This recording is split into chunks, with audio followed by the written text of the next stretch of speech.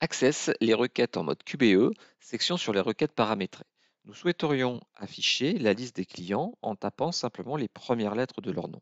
Par exemple, si je, passe, si je tape un D, eh bien je voudrais que euh, la liste des clients euh, Dupont, Dupuis, Dana apparaisse.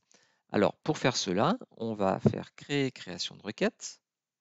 On va spécifier que l'on veut voir la table client, ajouter, fermer. Et on va demander les champs que l'on veut voir. Civilité, le nom, le prénom et puis le mail. Ensuite, pour voir le monsieur Dupont, on pourrait taper Dupont. Si j'affiche, eh bien on a bien monsieur Dupont. Par contre, si je tape juste la lettre D,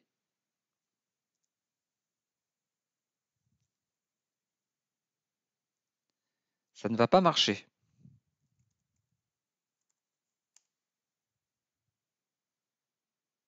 Pourquoi? Parce qu'en fait, on recherche Monsieur D. Si je veux tous les noms qui commencent par un D, il faudrait taper D étoile. Et là, du coup, il va me mettre comme D étoile, c'est-à-dire donner la liste des clients dont la première lettre du nom est un D, puis ensuite il y a n'importe quoi. Cela me donne donc Dana, Dupont, Dupuis. Par contre, je voudrais une fois taper D, une fois taper A, une fois taper B, enfin taper un peu n'importe quelle lettre ou taper du, et puis j'aimerais afficher toutes les informations. Donc on se dit qu'on va avoir recours à une requête paramétrée. Donc entre crochets, on va poser notre question, saisir les premières lettres du nom, deux points, fermer les crochets. Ah, il ne va pas fermer les crochets. Voilà. J'agrandis juste là la colonne pour qu'on voit bien ce que j'ai écrit. Saisir les premières lettres du nom. Et donc là, si je clique là-dessus, je vais taper un D.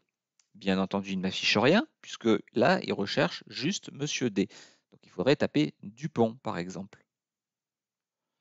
Là, si je tape Dupont, ça marche. Ma requête marche bien, mais il faut taper une chaîne de caractères entière.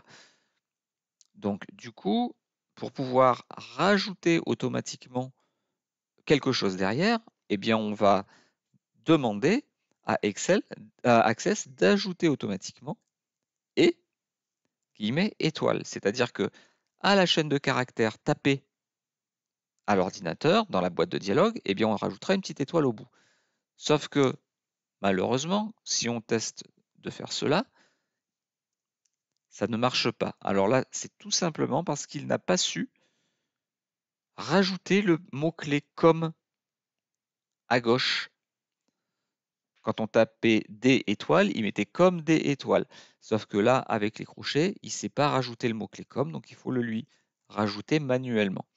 En l'ajoutant manuellement, si je tape D, j'ai bien Dupont, Dupuis, Dana. Si je tape euh, Da, du par exemple, j'ai Monsieur Dupont et Monsieur Dupuis.